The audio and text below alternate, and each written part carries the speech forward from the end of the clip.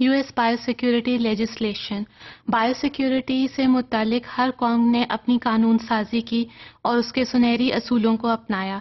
इस सेशन में हम यूनाइटेड स्टेट्स ऑफ़ अमेरिका के बायोसिक्योरिटी लेजिस्लेशंस की बात करेंगे। Now, Biosecurity Bill 2014 and supportive legislations were passed by the government and now they become a Biosecurity Act 2015.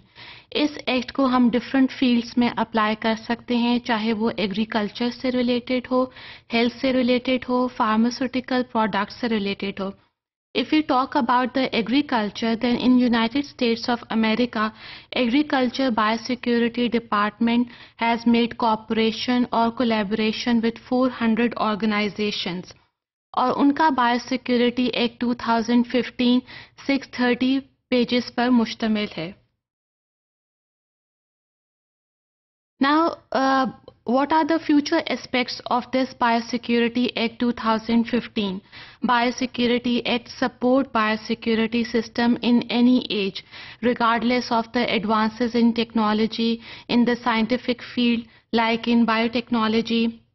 And these scientific advances and advices helps us to make right, right decisions related to the biosecurity system and helps in making the biosecurity plan as well. Now, the main objectives of US Biosecurity Legislation 2015 was to create a modern and responsive legislative framework that improves the underpinning process and it also creates the robust biosecurity system that benefits every individual. Now, this robust system of biosecurity prevent the entry as well as the establishment of invasive species which are pathogenic, exotic species which are lethal.